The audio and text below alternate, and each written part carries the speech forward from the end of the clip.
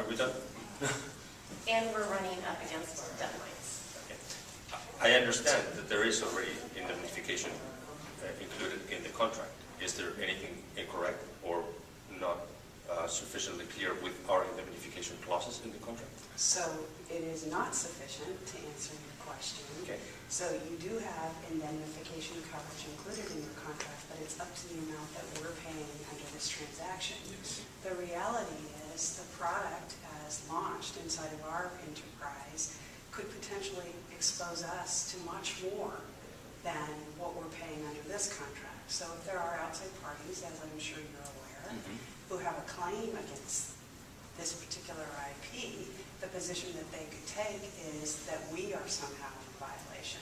Again, we aren't creating the code, buying the code from you. And I understand it's a very clear situation where somebody has to assume the risk. Yes. And in our case, it's the same, we, we are exactly in the same position you are, but sitting on the op- opposite seat.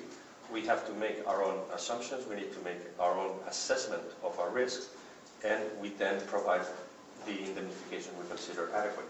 We believe the indemnification our contracts provide are best in the industry. Nobody in this industry provides this amount of indemnification. So that's actually not accurate. There are other vendors who do indeed provide a guarantee that the product that they're putting in the marketplace is IP clean. So are you not confident that you are not violating the IP of another party? Is that what you're saying? That you feel so confident that the IP coverage that you have is sufficient and that there's no way that there would be any us as an organization? Yeah, so in Is that fact- what you're saying? In fact, if, uh, if. I'm uh, sorry, I- but I was asking your boss.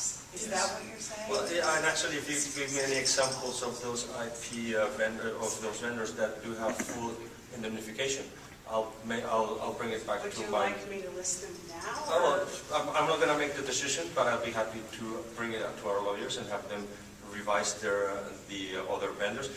Uh, Personally, I'm not an expert in Are you in a indemnification. position to make the? No, I'm not in a You're not, so why are you here?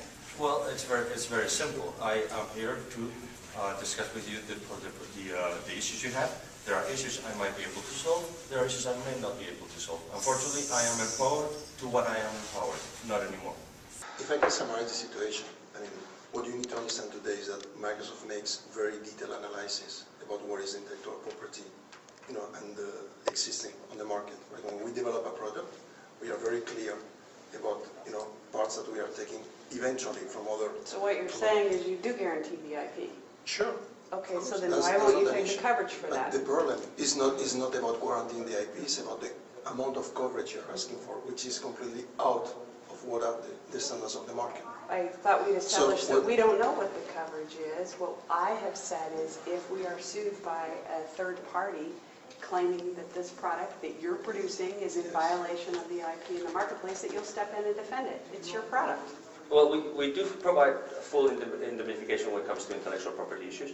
We do not So, you provide, know, we have gone around and around on this yes. And- for and- and I'm- weeks now. Okay, so And, I, and I how are understand. we gonna, I how are we understand. gonna resolve Here's the this? situation. Excuse We- me, but let her finish. She She's fin- trying to she explain to finished you her already. She timing. did No, I finish don't already. believe she did. We- we Excuse have me, gone back excuse to me, our- Excuse me, do you want to sell this product to us? Yes, but I will not sell it with, uh, with risks that my company doesn't allow me to take. If you want to buy it with the indemnification we're providing, we'll be very happy to sell it to you.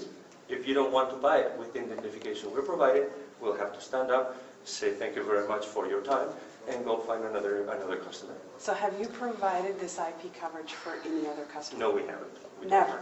Never. And so you actually, it's not that you're not in a position to authorize this. No one at your company is We- able to authorize this. We, uh, as far as my experience goes, and it's 22 years' experience in this company, we have never entered into a higher indemnification deal uh, that exceeds the amount paid by the customer. That's the maximum indemnification we do. So we have appreciated your time, Yep. but this meeting is over. You do have our contact information. We'll be very pleased to keep uh, ela- evaluating other alternatives, but when it comes to indemnification, that's where we are. Okay? Thank you very